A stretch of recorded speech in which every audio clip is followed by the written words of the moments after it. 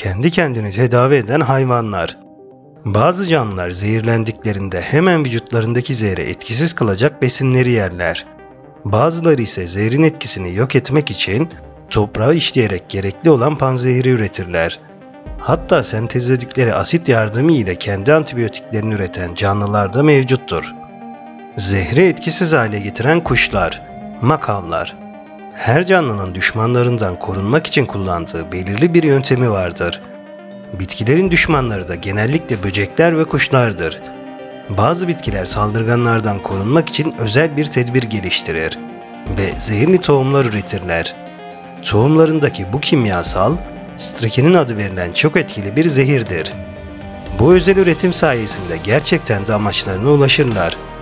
Zehrin tadını alan ya da durumun farkına varan canlı, vakit geçmeden bu bölgeden uzaklaşır. Ancak kimi zaman durum değişir. Bitkiler kendilerinden daha akıllı avcılarla karşı karşıya kalırlar. Amerika'nın tropikal topraklarında yaşayan bir papağan türü olan makavlar, bu akıllı avcılardan biridir. Makavların besinlerini zehirli tohumlar oluşturmaktadır. Peki nasıl olur da bu canlılar zehirli tohumlar ile beslenirler? Bu aşamada gerçekten de mucizevi bir yaratılış örneğiyle karşı karşıya kalırız. Bu kuşlar besleyici değeri yüksek ancak zehirli olan bu tohumları yedikten hemen sonra belirli bir bölgedeki kayalıklara doğru uçarlar. Oraya vardıklarında ise burada bulunan bazı kirli kaya parçalarını kemirip yutarlar. Kuşların ortada herhangi bir sebep yokken kil yutmaları oldukça şaşırtıcı bir davranıştır. Ancak yapılan araştırmalar sonucunda bu garip davranışın gerçek nedeni anlaşılmıştır. Kirli kaya parçaları kaolin maddesine sahiptir. Kaolin maddesinin özelliği ise tohumların içindeki zehri emebilmesidir. Makavlar bu sayede tohumları sindirebilmekte ve zehirden dolayı herhangi bir zarar görmemektedirler. Bu durumda karşımıza çıkan manzara son derece düşündürücüdür.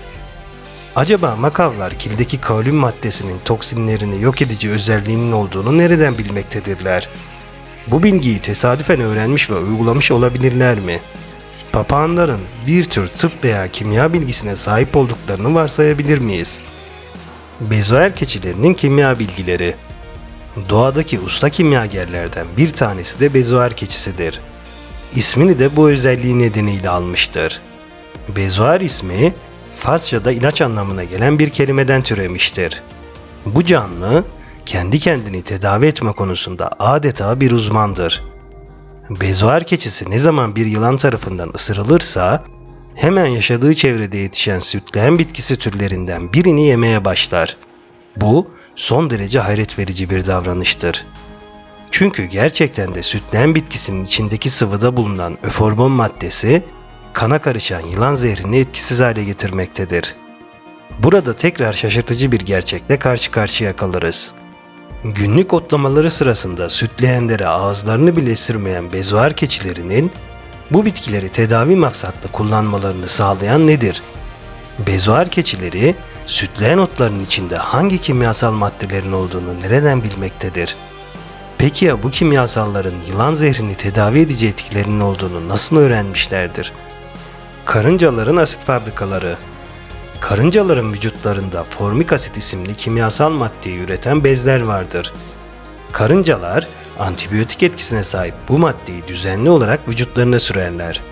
Bu şekilde hem yuvalarında hem de kendi üzerlerinde bakteri ve mantar oluşumunu engellemiş olurlar. Karınca asidi olarak da bilinen formik asidin kimyasal formülü 2 oksijen, 2 hidrojen ve 1 karbon atomunun arasında özel bağlar kurulmasıyla oluşmaktadır. Karıncaların vücutlarından salgılanan bu asitten haberdar olmaları ve bunu nasıl kullanacaklarını bilmeleri gayet hayret vericidir. Ancak bundan çok daha şaşkınlık veren konu, başka canlıların da karıncaların bu özelliğinden haberdar olmasıdır. Bazı kuş türleri de karıncalardaki bu asidi kullanırlar. Kuşlar, karıncalar gibi kimyasal maddeler salgılayamazlar. Ancak sık sık karınca tepelerine gidip karıncaların tüylerinin arasında dolaşmalarına izin vererek onların ürettikleri asitten faydalanırlar. Bu yöntem sayesinde vücudu formik aside bulanan kuş üzerindeki tüm parazitlerden kurtulmuş olur. Peki karıncalar mantarlara karşı formik asidin etkili olduğunu Ya da bu asidin formülünü nereden bilir? Nasıl olup da vücutlarında böyle bir tehlikeli asit üretilmesine rağmen karıncalar bundan zarar görmez. Dahası kuşlar karıncalarda formik asit olduğunu ve bunu parazitlerinden kurtulmak için kullanabileceklerini nereden bilirler? Öncelikle bu kimyasal maddenin nasıl ortaya çıktığı sorusunun cevaplanması gerekmektedir. Özelliği olan işe yarayan kimyasal bir maddenin kendiliğinden ortaya çıkması kesinlikle imkansızdır. Formik asidi düşünelim. Bu asidin sentezlenmesindeki bir hata kimyasalın antibiyotik özelliğini yitirmesi demektir. Ayrıca ortaya zararlı başka maddelerin çıkma ihtimali de vardır. Ağaç karıncaları vücutlarında ürettiği asidi yuvalarını korumak için düşmanlarına karşı püskürtürler. Bir insanın kimyasal deneyler yapabilmesi için bir kimya mühendisi olarak eğitim görmesi ve belli bir deneyime sahip olması gerekmektedir. Ama pek çok canlının sahip oldukları kimya bilgisi için ne eğitime ne de deneyime ihtiyaçları vardır. Çünkü onlar doğuştan itibaren bunun bilgisine sahiptirler. Bu onlara yaratıcının bir armağanıdır. Videomu beğendiyseniz ve bu tarz videoların devamının gelmesini istiyorsanız videomu beğenmeyi ve kanalıma abone olmayı unutmayın.